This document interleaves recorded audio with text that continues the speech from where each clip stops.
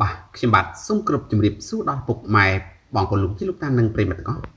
ថ្ងៃនេះផងដែរខ្ញុំបាទមានអត្ថបទព័ត៌មានមួយ ដែលមានចំណងជើងថាលោកយាយខាវថងញុតលើកឡើងដោយខ្លីក្រោយក្មួយលោកស៊ិនស៊ីសមុទ្រត្រៀមតបតតាមផ្លូវច្បាប់ ជាមួយលោកប៊ឺតសម្រាប់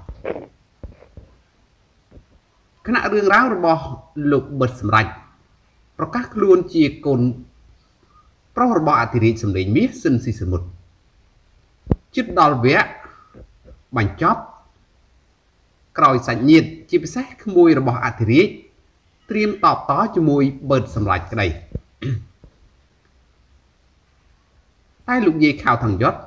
នៅតែប្រកាន់ជំហរមិនចង់ដឹងឮរឿងអ្វីឡើយ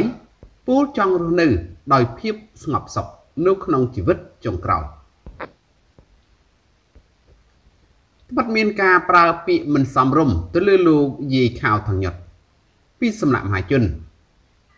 ក្រោយលោកយាយមិនឲ្យកូនស្រីច្បងធ្វើតេស្ត DNA ជាមួយលោកបឺតសម្រេចក្តីតែក្រុមគ្រួសារលោកយាយនៅតែបន្តរស់នៅដោយភាពស្ងប់ស្ងាត់មិនមានការចេញប្រតិកម្មអ្វីទាំងអស់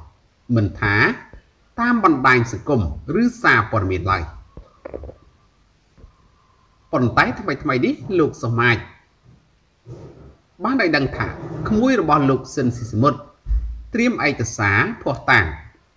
សម្រាប់តបតជាមួយលោកប៊ិតសម្រាប់ដែលការពិតនឹងត្រូវលាតត្រដាង នៅក្នុងពេលដ៏ខ្លីខាងនេះថាតើសម្ដីរបស់លោកប៊ិតសម្រាប់ជាការពិតឬក៏ហកដើម្បីស្វែងរកលៀបសការៈណាមួយ ទោះវាំងននត្រៀមបើកក្តី តែភរិយាលោកស៊ិនស៊ីសមុទ្រនៅតែនិយាយថាលោកយាយនិយាយចង់នៅដោយស្ងប់សុខជុំកូនចៅឲ្យបានយូរមិនចង់ដឹងឮរឿងអ្វីទាំងអស់បើតាមការលើកឡើងរបស់លោកសមាជដែលទើបខ្លាយជាកូនធររបស់លោកយាយខៅថងយុទ្ធ កាលពីពេលថ្មីៗនេះបានឲ្យដឹងថា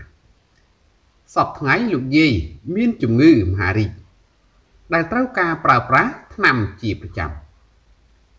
មួយវិញទៀតចាប់តាំងពីកើតរឿងលោកបឺតសម្រេច